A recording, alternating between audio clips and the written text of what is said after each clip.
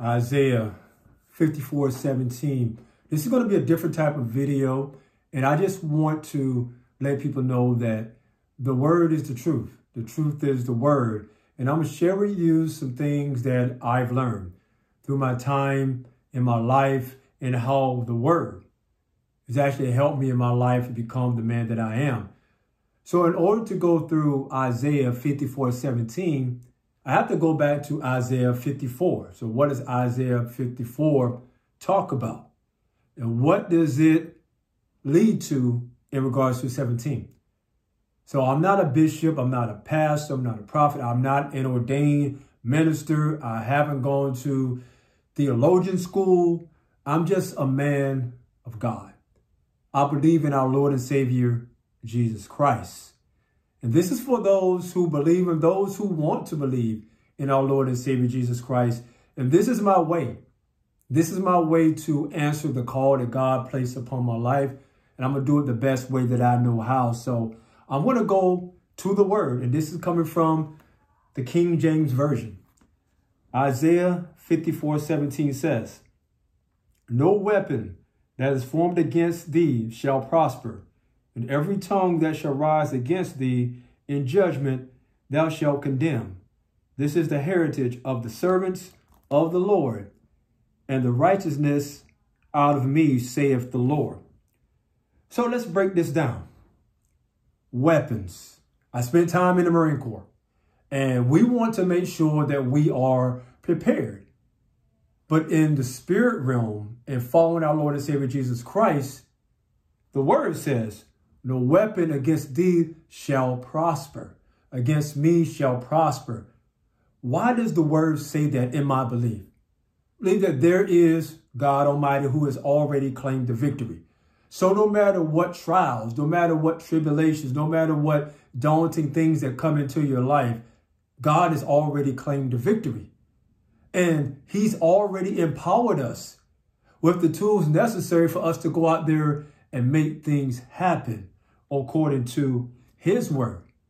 And we remain obedient to the word and know that this is the truth. There is nothing that's going to stop us. Our Lord and Savior Jesus Christ took it all to the cross. Pass all the sins of the world. Pass in the days of Enoch, in the days of Abraham, in, in the days of Adam, in the days of Eve. Present where he was present and with the 12 that walked, that walked with him. And the future, which is right now, and the future, which is coming.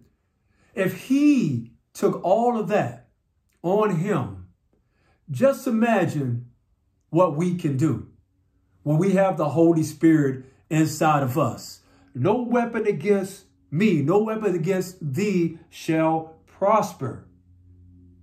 And against thee in judgment shall condemn and every tongue that shall rise against thee judgment thou shalt condemn. So what does that mean? Every tongue. So there's going to be some people out there that are going to bring evil. There are demonic forces. There's a lot of negativity out in the world, and they're going to speak, especially if you're a walk, if you're walking with Jesus Christ, if you're a man or woman of God, there's going to be tongues there's going to be words that are going to be spoken against thee, spoken against me, spoken against you. But we go back to the word. No weapon that is formed against thee shall prosper. Prosper. That means that they can't win. They will not win. They will not rise because we have the Holy Spirit. We have the word and we can take the word in our lives and just make our lives better, knowing that we have full faith and confidence in our Lord and Savior Jesus Christ and in God Almighty. But let's go to 16. I'm going to read 16 to you because this is important because if there wasn't an Isaiah 54, 17, 16, there wouldn't be a 17.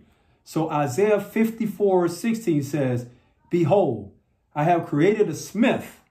I have created God Almighty created a smith that bloweth the coals in the fire and that bringeth forth an instrument for his work. And I have created a waster to destroy. I have created, our Lord, God Almighty, created the heavens and the earth. So everything that's happening right now is started with God. Six days and the seventh day he rested. I'm going to talk about that in another video. He created the smith. And let's go to create the smith. No weapon formed against me. So even though he created the smith, so whatever the smith, this is my this is my opinion and my belief, he created the smith that made these things possible, that actually blow off the coals into the fire, into the fire, into the flame, into that. Even that, there's no weapon that anyone can form shall prosper. So I give you this with the love of the Lord. And I share this message and this word with you. If you're going through struggles right now, if you're going through strain right now, if you're going through pain right now, if you're going through it all right now, know that the word is the truth and remaining obedient remaining obedient to the word, the blessings are going to come. So we remain obedient to the word, not just this particular passage in the Bible, but the entire Bible. What a lot of people do, they just take one particular passage and then they forget about everything else. No, every word is the true. So we hold ourselves there at 5417. At 5417, no weapon against thee shall prosper. Whatever you're going through, know that this word is the truth. And just like the fire, there's someone that said this. This is not in the word. I don't. I believe everything is derived from the word. Is the stronger the pressure, the shinier the diamond. And coals, coals have to have an extreme amount of pressure extreme amount of pressure, an extreme amount of pressure to make the finest of diamonds. So be cold today and surround yourself with believers and surround yourself with the gospel. With the gospel and you input the gospel into your life, my friends, my family, no weapon against thee, against me or you who firmly believe in our Lord and Savior Jesus Christ will prosper. If you haven't subscribed to the channel, please subscribe to this channel because I am going to start delivering messages like this. One of my brothers, Zach Alvey, he said this, he said, mix it up. And one of the things that I want to do is continue to answer my call in my way. I believe that this is on time and is needed, even if it's one. Even if it's one that this word can bring you closer to Jesus Christ to save your soul because we're living in a world right now where souls need to be saved. And I'm going to share this with you from my, my son, Micah. Micah Hakeem Hay. He came to me last night and he said this, Daddy, this is not my words, this is his. He says, Daddy, I want to go to heaven so I could see you every day.